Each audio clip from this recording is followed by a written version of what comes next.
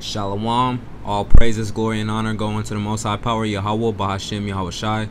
Double honors unto the apostles and the elders, the great millstone that do rule exceptionally well. Salutations, peace, mercy, and blessings unto you, sincere brothers that's out there, uh, the faithful brothers that's pushing this word with truth. My name is Thabawaah Ahmath of Great Millstone Northwest. All right, and I really just want to start this lesson reading this scripture. Salakia for that reading this scripture. It says, uh, this is First Thessalonians chapter 5. I'm going to start at verse 1. It says, But of the times and the seasons, brethren, I have no need to, that I write unto you. For yourselves know perfectly that the day of the Lord so cometh as a thief in the night. Okay? Uh, I'm actually going to read on verse 3 For when they shall say peace and safety, then sudden destruction cometh upon them as travail upon a woman with child, and they shall not escape. All right, so um, hey, that's pretty plain and, and cut forward that there's there's no re reason to make uh, big long lengthy videos to tell of the times and the seasons because I mean it's pretty obvious what time and what season we are in based upon the events that's that's going on in the world. And that's why Paul even wrote that we know ourselves that uh, the day of the Lord is going to come as a thief in the night all right, uh, Yahawashi and the heavenly host, they they are already geared up and ready, man. They're already ready to uh, uh, uh to to bring uh, a lot of torment to uh, the planet Earth. All right, and they are only being held uh, because they haven't got the green light from Yahweh or Slakia from the Most High Power Yahweh. I was about to say Yahawashi, but I meant to say uh, the Most High Power Yahweh. All right, because they are two separate entities. Um, one of the brothers during a live show a couple weeks back, uh, he he gave an analogy and it, stuck in my head. Um, he said that Yahawashi and the Heavenly Host is pretty much like um, like how those dogs were on I Am Legend, where uh, they they wanted to go after Will Smith.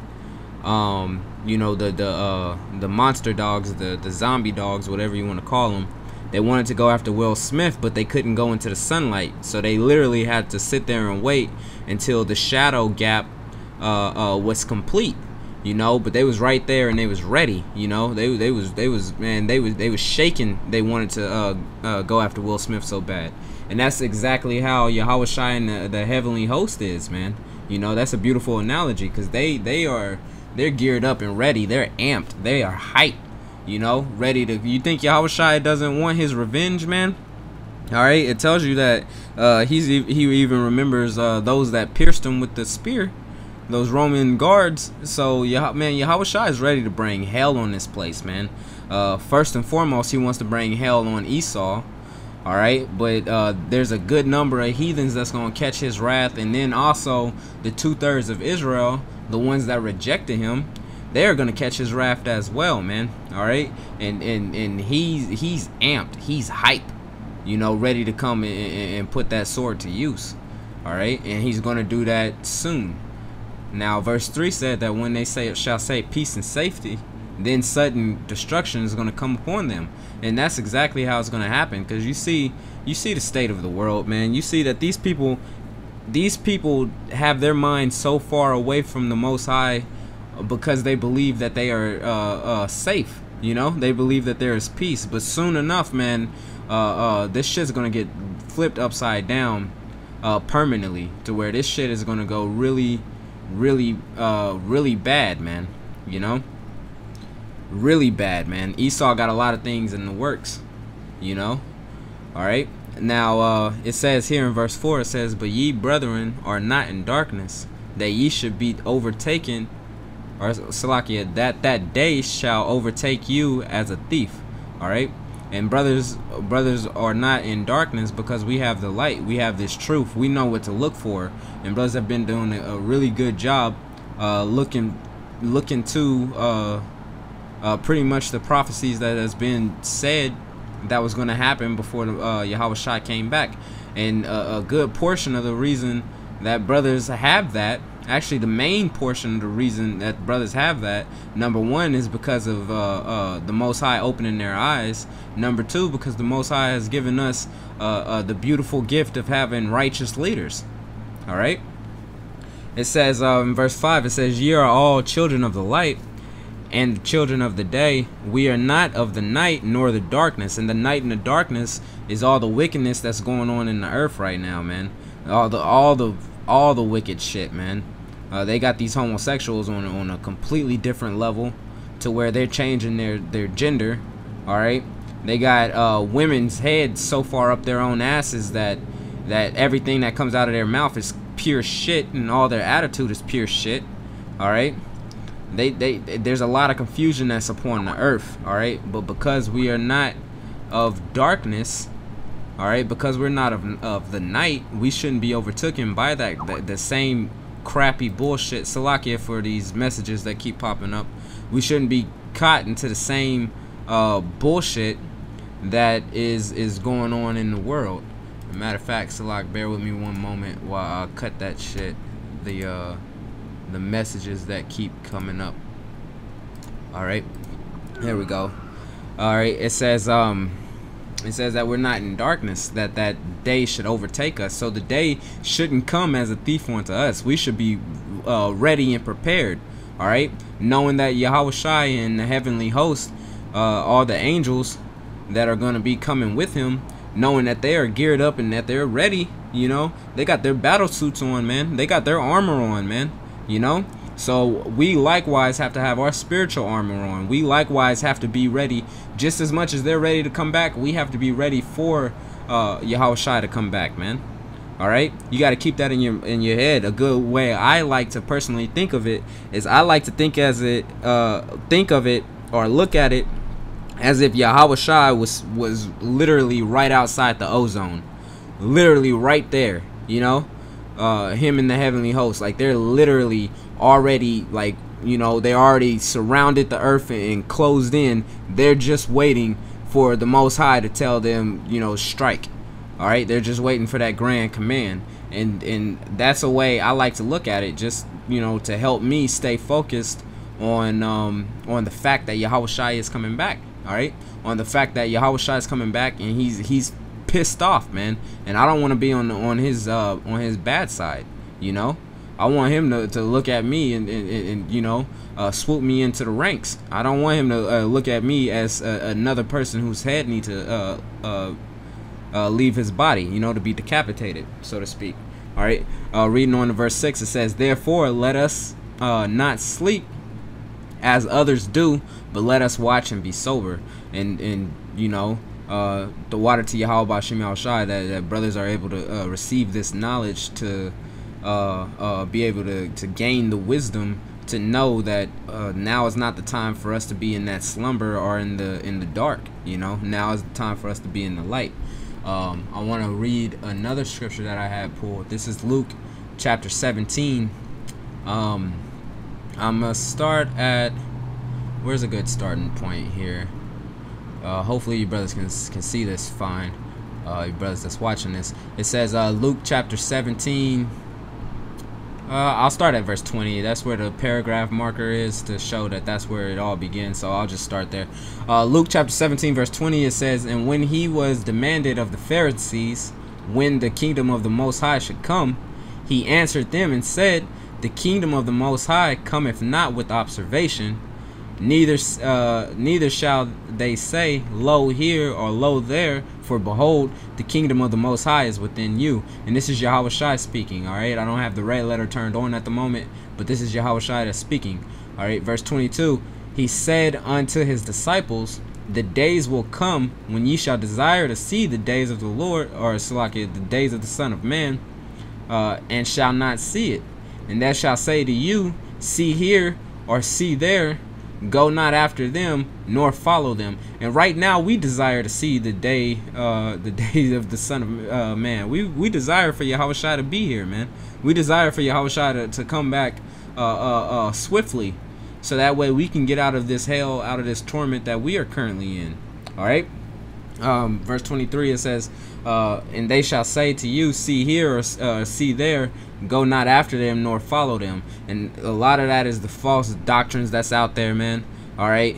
Uh uh you know the religions that's out there. And then you even got uh the false prophets.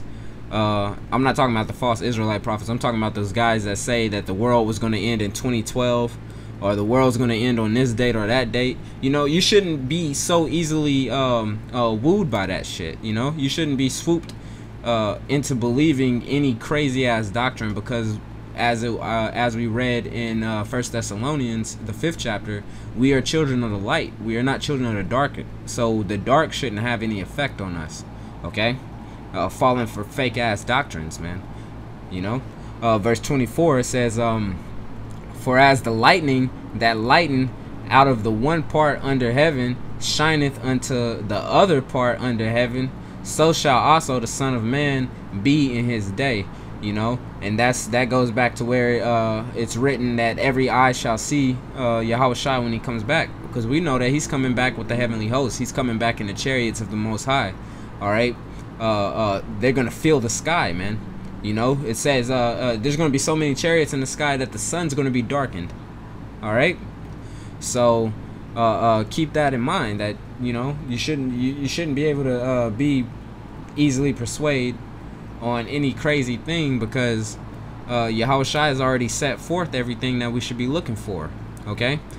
Um, uh, verse 25, it says, um, But first must he suffer many things and be rejected of this generation. And that generation is here upon the earth today. That generation that rejected Yahawashi, they're the same people that's out there that's still constantly, even to this day, rejecting Yahawashi. All right? and that includes some of the people that call themselves Israelites. You know, if you're not with the 100% truth of Great Millstone, then then you're still rejecting Yahawashi, whether you're rejecting his name or rejecting a part of the true doctrine. Okay?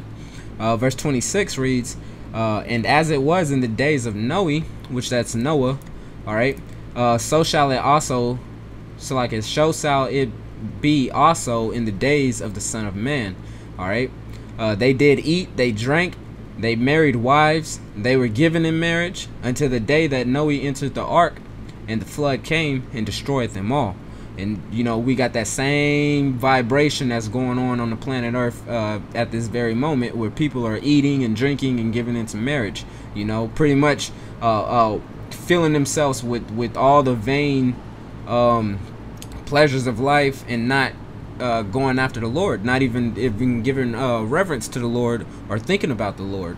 Okay, and that's that's how it is. It says until the flood came and destroyed them all. That's why it's written that it's going to be as a thief in the night because there's not anybody watching. You know, there's nobody that's alert other than the, the true men of the Lord. Uh, that is. Uh, likewise, verse 28. Likewise, as it was in the days of Lot, they did eat, they drank, they bought, they sold, they planted, they uh, builded. All right. But the same day that Lot went out of Sodom, it rained fire and brimstone from heaven and destroyed them all. All right. And the same day that Yahushua comes back is the day it's going to be uh, raining uh, fire and brimstone. The same day that the elect leaves out of uh, Babylon and other various countries that has been prescribed to be um, uh, destroyed by nuclear fire and by the fire of the chariots. All right, the same day that the elect leave out of those those places, the same day those places are going to be destroyed. All right, uh, even even thus shall it be in the days when the Son of Man is revealed. All right, when when Yahawashi comes back with that heavenly host, which he he's anxious to do. He's anxious to do. You know, us down here upon earth is anxious for Yahawashi to come back uh, to put a to put an end to the to the wickedness that's that's um, that's uh, prescribed all throughout the earth. If we're anxious for it, how much how much more is our King? All right, how much more is He that that uh, uh, sacrificed Himself for uh, uh, the good of us? You know, how much more is is our our leader, our Lord and Savior, man? How much more anxious is He, man? Okay especially when he was wronged uh, for doing nothing. Okay, um, so keep that in mind. You gotta literally think of it as if Yahawashi is standing right outside the ozone, uh, uh, waiting to to uh, give the attack, man. All right. Uh, so that's the point that I wanted to get out of Luke 17. I'm gonna read one more. Um, I'm gonna go to one more chapter and then I'm gonna wrap this up. This is uh Second Ezra chapter nine All right, which is a very good chapter, by the way. I'm gonna read verse one. I'm gonna read a, a good segment of this. It says, um, uh, Second Ezra chapter nine, verse one. He answered me. He answered me then and said, Measure thou the time diligently in itself, and when thou seest part of the signs pass, which I have told thee before, then shalt thou understand that it is the very same time wherein the highest will begin to visit the world uh, which he made. And the Most High is going to visit the world uh, using Yahushua and the heavenly host. Okay? So uh, it says when, when some of those things that was written start coming to pass, that's when you should understand that it's that same time, that day of the Lord, man. that's why it's not able to, to catch the men of the Lord as a thief you know, that's why uh, uh, it's not able to catch us because we actually have the light. We can see through this dark time that we're in. Okay. Uh, therefore, verse three. Therefore, uh, when there shall be seen earthquakes and uproars of the people in the world, you can't tell me that that that segment right there alone isn't true.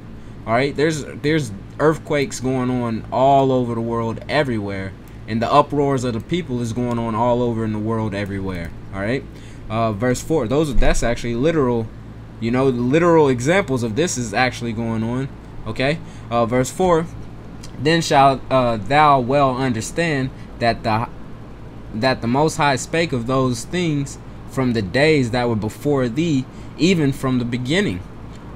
For like as all that is made in the world hath a beginning and an end and the end is manifest even so the times also of the highest uh, have planned beginning so like it have plain beginnings in wonders and powerful works and endings and effects and signs all right? The most high will, will start something uh, wondrous and then end it all right? Something something like uh, babylon you know? You think babylon could have got started without the most high's uh without the most high giving an okay? And then check out the way that it, babylon's going to be taken out man. When I'm speaking about Babylon, I'm speaking about America. Uh, check out the way that's going to be taken out, man.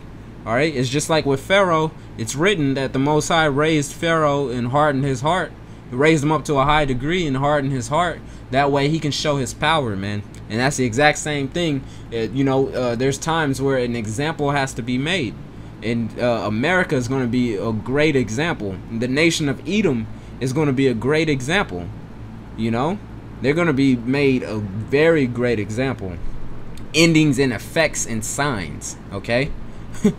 uh, verse uh, verse seven it says, um, "And every one that shall be saved and shall be able to escape by his works and by faith whereby he have believed shall be preserved from the said perils." All right. So the the the men of the elect don't have to worry about this stuff, man we don't have to be of a of a great fearful heart. You know, I say we because uh, I'm including uh, the um, the hopeful elect, the brothers that are really sincere and and, and uh, faithful in this thing. All right, it says uh, they shall be they shall be preserved from the said perils. All right, so if you're a member of the elect, you you, you don't have to worry. All right, of course, none of us know who is of the elect, and that's why we tremble with fear and serve the Most High in fear, man because we don't know if his if his wrath is going to touch us because we're all worthy of the death all right it says uh and shall see my salvation in my land and wherein my borders for i have sanctified them for me from the beginning. The elect was chosen from the beginning. This is common knowledge for us that's that's truly in this faith.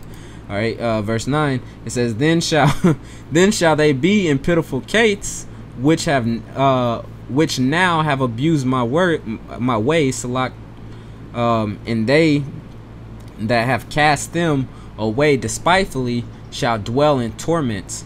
And that's speaking about the two thirds, man. Two thirds is gonna catch some hell.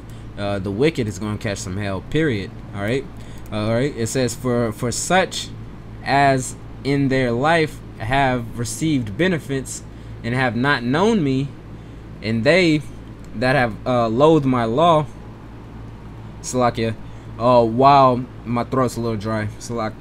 Uh, while they had yet liberty, and when as yet place of repentance was open unto them, understood not, but despised it. Again, speaking about the two thirds, because the men of the Lord are out on the streets. These videos go up on YouTube daily. You know, uh, uh, uh, there's a constant uh, uh, flow of, of, of the truth going out uh, into the world at this moment. All right, but the people they did what? They despised it. All right, the same must know must know it after death by pain and we don't want to know it by death by pain that's why we got to get with the program now that's why we got to stay focused and keep our keep our mind on the fact that uh, Yahawashi is coming back, man. And when he comes back, he's bringing two things. He's bringing vengeance, all right, which which uh, holds destruction in it, and he's also bringing uh, uh, true love, which holds salvation in it, man. All right. So uh, pretty much that was the lesson. I didn't really mean for it to go this long, uh, uh, but I just went with the spirit. So uh, once again, I want to go with. Um, uh, uh, all praises, glory, and honor unto the Most High Power Yahweh by Hashem Yahawashi. Double honors unto the apostles and the elders of Great Millstone that do rule exceptionally well. Citations, peace, mercy, and blessings unto you, faithful and sincere brothers that's out there, man, that push this word in truth. All right, Lord willing, you brothers uh, uh was able to pull a little something from that. Until next time, I say shalom.